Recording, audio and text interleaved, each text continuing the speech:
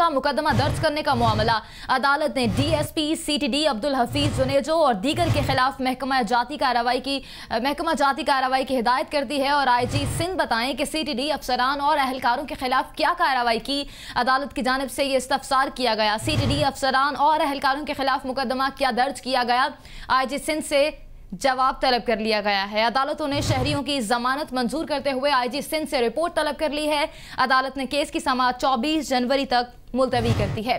Sindh high court میں شہریوں کو غیر قانونی حفظ بیجا میں رکھنے اور جھوٹا مقدمہ درج کرنے کا معاملہ۔ عدالت نے D S P, C T D Abdul Hafeez Junejo اور دیگر کے خلاف محکمہ جاتی کارروائی کی ہدایت کرتی ہے۔ محسن اسماعیل، نمائندہ کیپٹل ٹی وی ہمارے ساتھ موجود ہیں۔ مزید ان سے جانیں گے۔ جی محسن۔